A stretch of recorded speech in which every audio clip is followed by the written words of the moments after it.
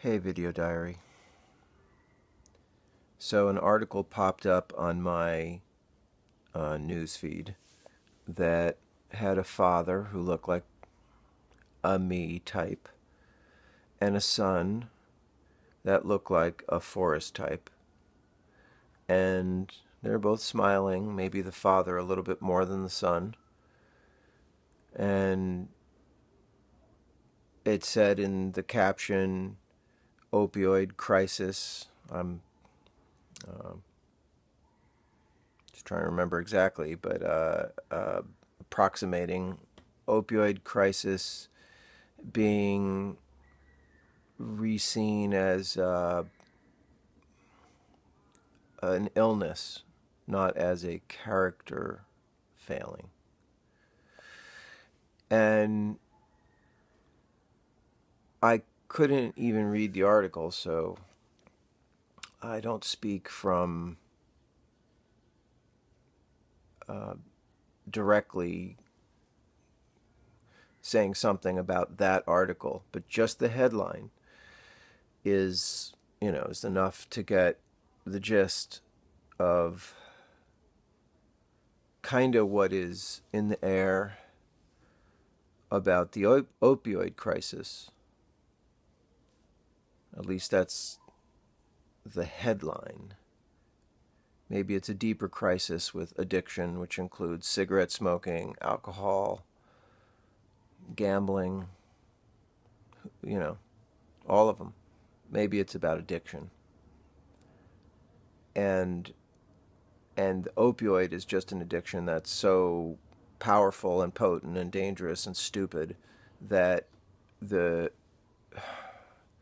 the reliability of death is is high and the reliability of a, a crappy life uh, is probably 100%. So, is it a, a an illness?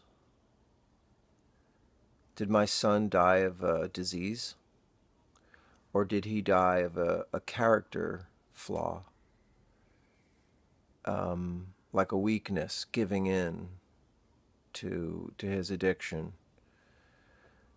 Um, so I'm asking myself that question, and I I can't go all the way to either side of this position and say he was fully out of his mind and out of control and uh, or or the drug had taken his will. You know like minority report you do it one time and you're just you know you are just a slave a robot. To the other extreme that he betrayed He betrayed me, his family, himself, life.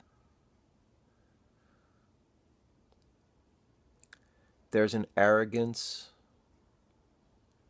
I call it an arrogance. Um, when you risk things that are disproportionately precious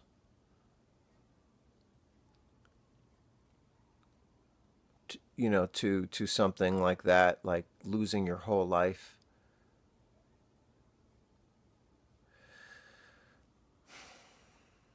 I don't know if there's any ever you know good reason reasoning to say hey I want to start using heroin. I remember periods in my life where I was you know super depressed and oppressed I was physically abused. I was sexually abused. I I had a lot of weird issues. Uh,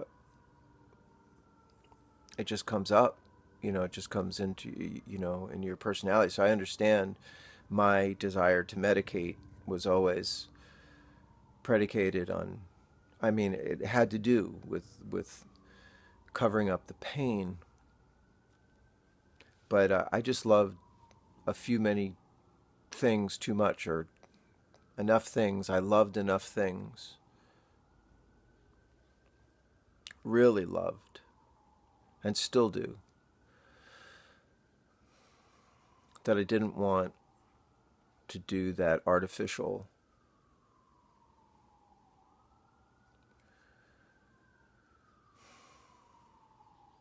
the artificial thing.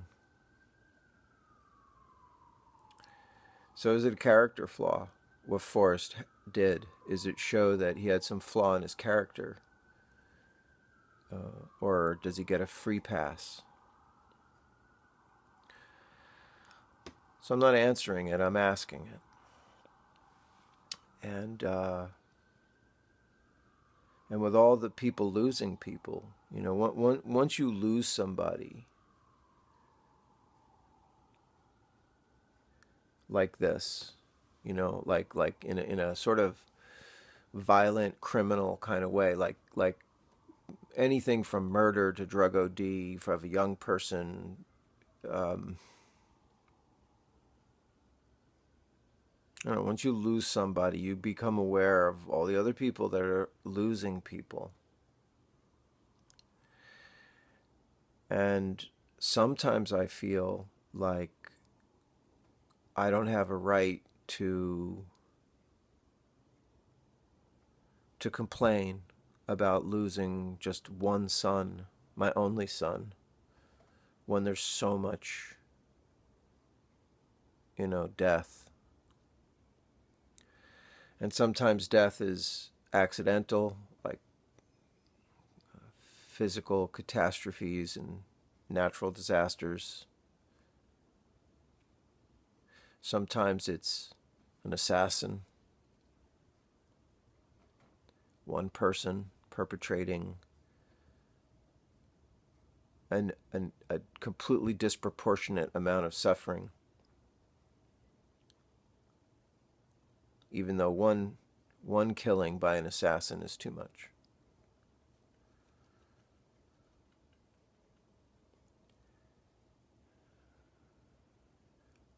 I, I feel like I'm supposed to just suck it up. You know, like, oh, you, you had a kid who did something really stupid. He was a drug addict. I'm not going to feel that bad for you or for him because he could have had his life but for his weakness or his justifying or rationalizing his deciding. What is the word? What led?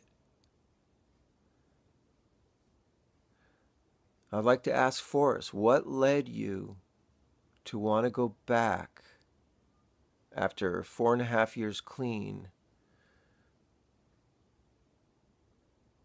I understand triggers, I understand all that hunger, dependency. But we're talking about heroin, you know?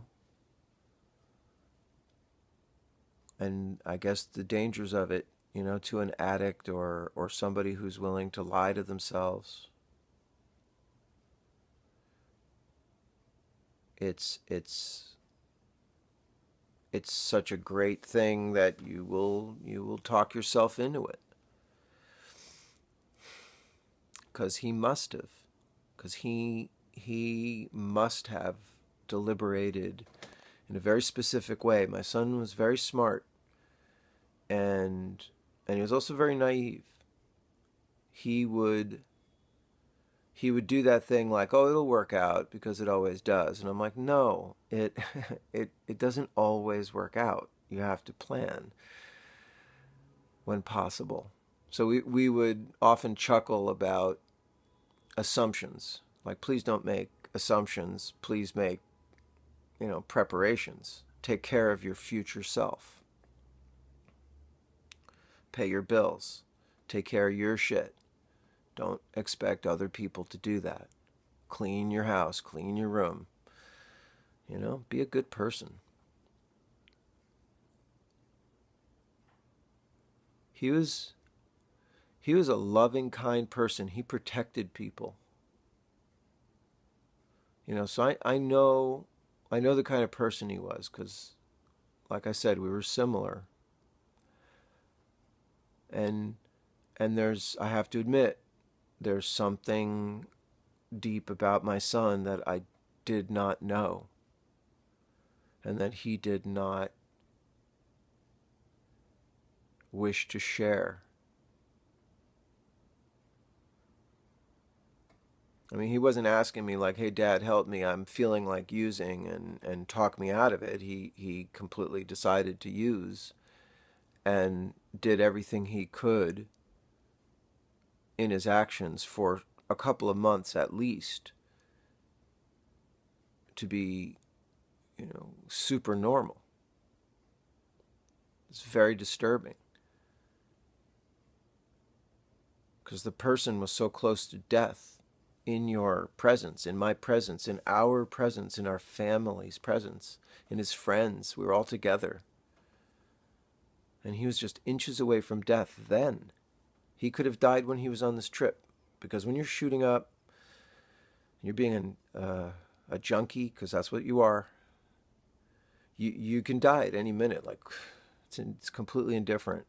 Doesn't have anything to do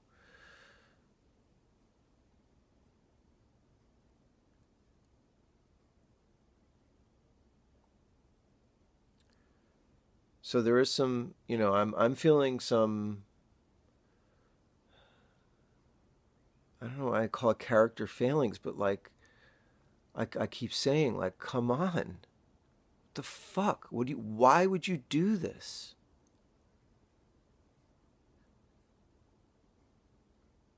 Especially you. Why would you do why would you throw away all the amazing skills and pleasures that you have except that you got arrogant,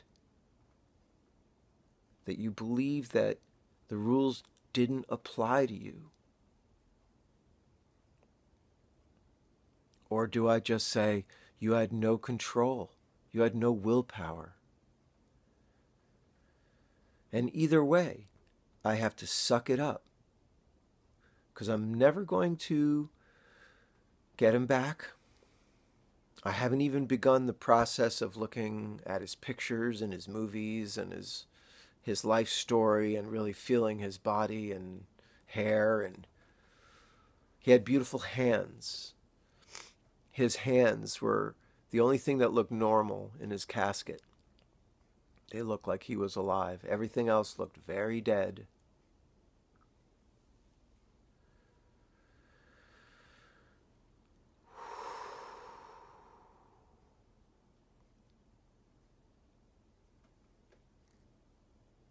That's why I think there's no afterlife because your body is the container of all of this information. It was gone. I, you know, when you really feel somebody gone, all those equivocations and mind dancing and silly myths and wish hopes and you know it it that's what I was talking about like a sort of native spirituality there is mystery but it's not you know, these uh, sky afterlife Sabian based myths that we tell ourselves, religions.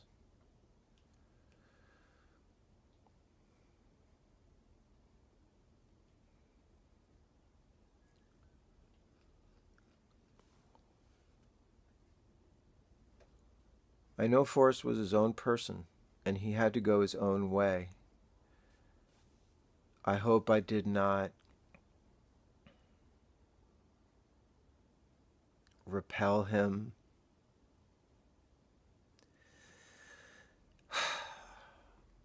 or expect too much. Cuz I I was I have high standards, but I'm I'm easy too but we don't know how we play out in each other's psyches, you know. I know I loved him. And I know that he knew that. Like there's no there's no question. Sorry, I'm getting emotional. There's no question about the emotional part. But the mind part, I'm still really uh, I'm still really angry about this. And you know, I have friends chiming in and saying, "Oh, you have to find forgiveness and peace and all that stuff." I I don't know if I can ever forgive this. I don't think he would expect me to. But what I, I really do understand now is that each one of us has a responsibility to everybody. And we radiate out like we're all in a spider's web. And if you pluck one of us out, it causes such damage to the network that you're just not you're not shooting up alone in your room. You're not just killing yourself. You're killing many people. You're harming many people.